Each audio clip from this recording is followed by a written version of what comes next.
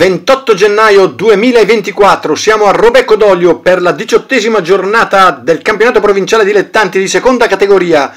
Incontro tra Robecco e Corona di Cremona. In sovraimpressione si possono leggere le formazioni delle due squadre che si stanno per schierare in campo con la maglietta a righe giallo-rosse il Corona e maglietta nera i ragazzi del Robecco. Eh, è partita la processione di ingresso, poi non abbiamo ben capito perché sia improvvisamente rallentata e si vada a passo d'uomo. Eh, speriamo che qualcuno ce lo spieghi, ma questo è il dato di fatto. Eh, no, non è proprio questa la spiegazione che ci attendavamo, ma comunque procediamo. La giornata è particolarmente rigida, il campo di calcio sembra in perfette condizioni, è perfino stato pettinato per l'occasione e vedremo quali saranno i benefici di questa operazione di maquillage. Le due squadre si contendono il centro della classifica, per ora sono entrambe nella pagina destra della classifica appunto e almeno il Corona ambirebbe a collocarsi nella parte sinistra per cercare di scalare la classifica. E noi diamo un'occhiata anche alle panchine come al solito, quella del Corona e poi quella del Robecco che ci saluta come in ogni occasione. E noi ricambiamo con l'augurio di una buona partita che al fischio dell'arbitro ha inizio in questo momento alle 14.30 del 28 di gennaio 2024 sesto minuto azione d'attacco del Corona Ciapei per Bernardi che allarga la palla per Ghilardi proveniente dalla destra. Pronto il cross Ghilardi il cross avviene ed è insidioso ma Franze la blocca a terra.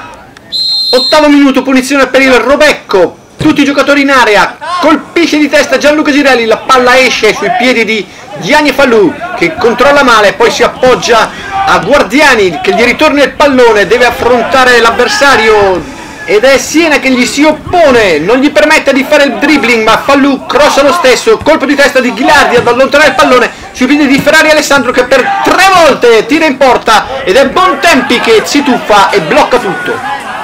Pirondi al centro del campo, butta avanti un pallone, ma Fornasari lo rimanda nella metacampo avversaria ed è controllata da Gianluca Girelli che lancia magnificamente sulla sinistra. Diani Falù, ancora le prese con Siena, tergiversa un po', poi parte il cross per Gianluca Girelli, Bellini non prende il pallone, Drame tenta il tiro vincente ma la palla è altissima. Vai avanti.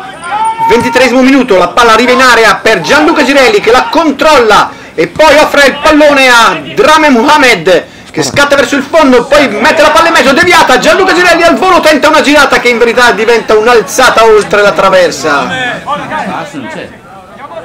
28 minuto, siamo sulla fascia destra dell'attacco del Corona, parte un cross per Ciappei che tira in porta, la palla non va lontana dall'incrocio dei pali. 31 minuto corner per il Robecco, la palla arriva in area, colpisce l'Almawi e poi Gianluca Girelli alle prese con buon tempi, ma che poi subisce fallo da Ferrari Alessandro, l'arbitro fischia.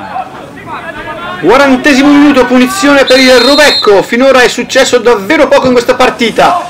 Parte la punizione ancora Wish Bontempi la palla viene allontanata dai difensori del Corona ma conquista la palla Fornasari e difende il pallone poi con l'aiuto di Ferrari Alessandro supera due avversari e riesce a fare un cross deviato. Drame Muhammad con un tiro sbilenco impegna Bontempi di pugno ma che subisce un fallo e al 41esimo anche il Corona cerca di superare la linea centrale del campo per imbastire un'azione d'attacco sulla fascia destra dove procede il giocatore del Corona. Effettua un cross adesso respinge Caridi sui piedi di Amici che tenta il tiro al volo ancora Caridi. E poi è Bernardi che tenta la stoccata finale che impensierisce Franzé ma va fuori.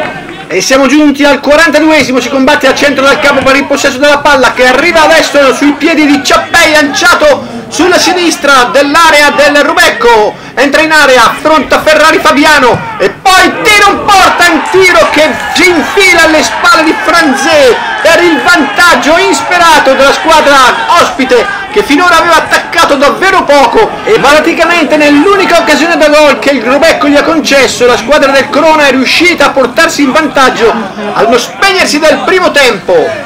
E rivediamo la prodezza di Ciappei Mattia che entra in area affrontato dal capitano del Robecco che lo controlla poi gli si dà troppo spazio allora parte il tiro che si infila tra palo e paletto impossibile da prendere per Franzé vuoi E al 42esimo del primo tempo riprende la partita, il risultato è cambiato, è in vantaggio la squadra del Corona per 1-0. E dopo il gol e i minuti di recupero concessi dall'arbitro nulla è successo, la partita finisce, almeno per quanto riguarda la prima parte, sull'1-0 per il Corona.